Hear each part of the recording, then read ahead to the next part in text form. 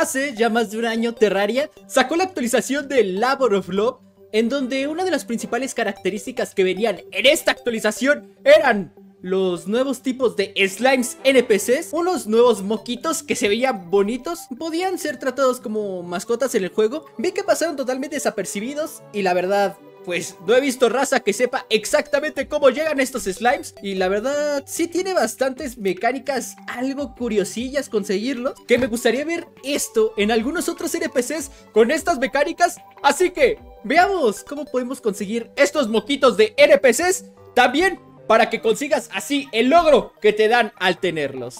Bien, para iniciar debemos de tomar en cuenta que hay 8 slimes que podemos conseguir los cuales voy a ir diciéndote en orden de cómo puedes irlos consiguiendo en tu juego. Así que primero vamos con el slime escudero. Este slime es el primero en la lista, ya que desde que creamos el personaje nos da una espadita corta de cobre y, obvio, como no puede faltar el slime del inicio, pues para conseguirlo solo necesitamos estas dos cosas con acercarnos un poquito al slime, aplastamos la tecla T y sale la espada de nuestro inventario convirtiendo así el slime del principio en un nuevo NPC. Para esta mascota solo funciona con la espada corta de cobre hacia un slime verde o también funciona con algunos otros slimes. Pero es mucho más fácil si lo haces desde un inicio y cambias la espada por una de madera.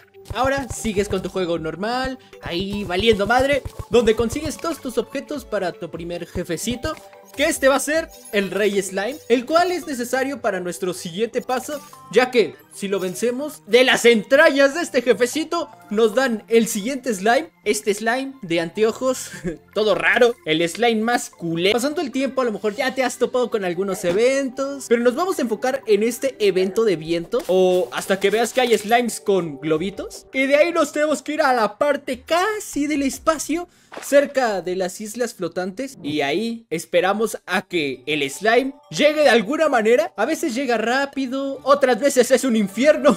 Cochinos de slimes que no aparecen. Y hasta que ves a este slime diferente flotando por ahí, al mugroso ese, le explotas el globo. Y ahora sí, este será parte de tu mundo. Nota, esta porquería puede ser de las más difíciles en conseguir, ya que es la manera más aleatoria en la que te puede salir. El siguiente seguramente es uno de los más fáciles de conseguir, ya que con el paso del tiempo y de los NPCs, muy seguramente conseguiste varios en tu mundo. Uno de ellos, la chica fiestera. Con el tiempo, estando esta NPC, va a haber un evento en tu mundo donde habrá una fiesta y así saldrá este slime, que es uno de los más chidos que puede existir en el mundo y que a mí más me gusta.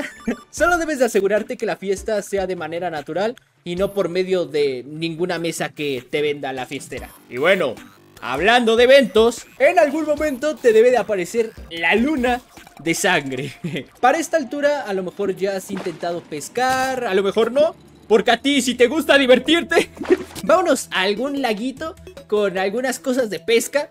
Pero sí o sí vamos a necesitar pociones de sonar Porque en este evento aparecen enemigos un poco agresivos Entonces vamos a necesitar ver qué estamos pescando Y pues solamente pescamos hasta que salga el nombre del slime Y así tenemos uno más Obvio, no nos vamos a ir solo con eso. Hay que aprovechar la luna de sangre, carajo. Y bueno, no te dije, espero que antes de que haya la luna de sangre le hayas comprado estos polvos de purificación a la.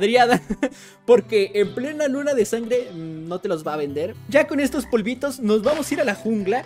En donde ahora sí vamos a poner atención a todos los sonidos que escuchemos. Que tenemos que estar buscando ranas para esto. Con un 2% de probabilidad puede que te salga una rana de estas con un sombrerito. Cosa que a mi parecer este es el slime más difícil de conseguir en el juego. Pues solamente si encontramos esta rana con sombrero y le arrojamos el polvo este en la jeta. Así este se transformará en un nuevo NPC slime. Una recomendación para esto es que funciona con la cantidad de enemigos que te pueden aparecer en pantalla. Entonces una poción de batalla con una vela de agua. Si se te está complicando muchísimo en encontrar esta rana, estas dos cosas pues podrían ayudar. Y ya con el tiempo solo queda ir pasándote el juego poco a poco. Vences uno que otro jefecito. Hasta que llegas a la mazmorra. Ahí te vas a asegurar en conseguir sí o sí una llave dorada. Y bueno, a pesar de que esto también es un poco random, siento que no tarda tanto en salir como los otros NPCs aleatorios, ya que vas a estar buscando un cofre que se mueve solo, al igual que la rana pasada, esto le afecta las velas de agua. Y con una llavecita dorada en tu inventario es tan fácil como darle clic, como si estuvieras abriendo el cofre, y se transforma en un slime, consiguiendo así el último slime.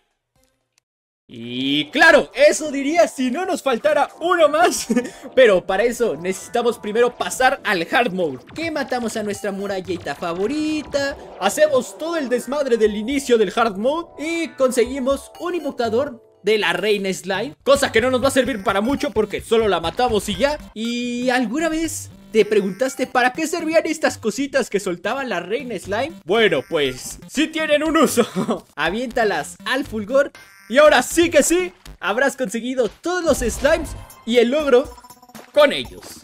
Ahora, ya que tienes todos los NPC Slimes, la única ventaja que tienes con estos Slimes es que sirven para el funcionamiento de los Pylons. Así puedes tenerlos activados aunque sean considerados mascotas. Para los Pylons, pues sí cuentan como un NPC. También sirve para el logro, el mugroso logro de Terraria, que está sí medio difícil de conseguir. Y obvio, también estos Slimes sirven para coger